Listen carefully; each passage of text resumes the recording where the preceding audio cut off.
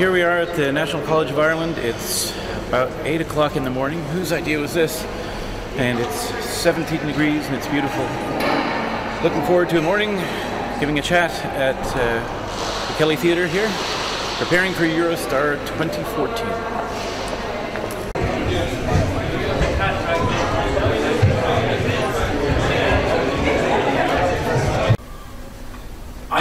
Be a tester. I, you can call me a tester, I'm a tester. Uh, if I'm on a job as a tester, I'm a tester, and I'm happy to be a tester. Uh, I help the people do assure quality. That's what I do. Irrespective of whether or not the code was functionally tested, and sometimes code does get functionally tested, and sometimes it doesn't.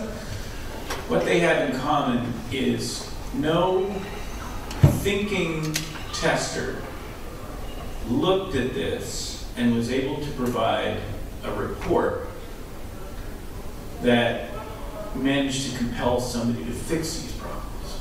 Because they, I would argue they are problems. Uh, each one of them threatens the image of the organization that's producing the software. Each one of them uh, makes that organization look careless or sloppy.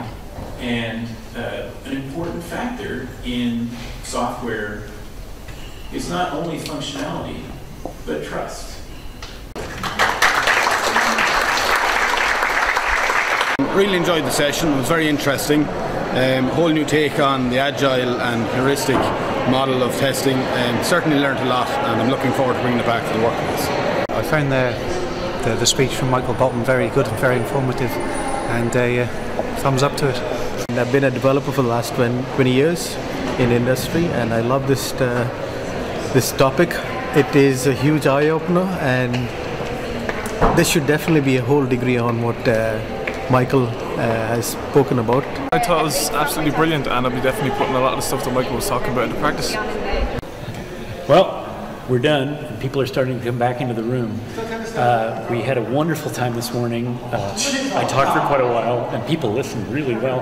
And uh, uh we had a fine discussion afterwards. So we're going to have to get out of here quickly. But uh, I can't wait to get back and engage with the Irish testing community, the European testing community at Eurostar 2014. See you there.